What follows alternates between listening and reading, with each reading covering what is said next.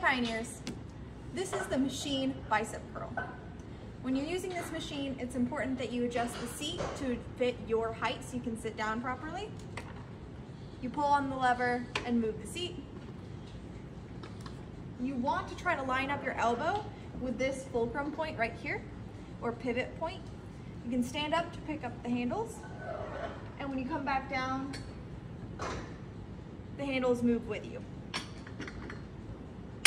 Adjust the weight so that it's appropriate for you, you use the pin to set larger increments of weight, and you can move these knobs to add in five pound intervals. So again, stand up, elbows are close to the fulcrum, hold the handles, curl up, and this isolates mostly the bicep muscles up here, but you might also feel in your forearms.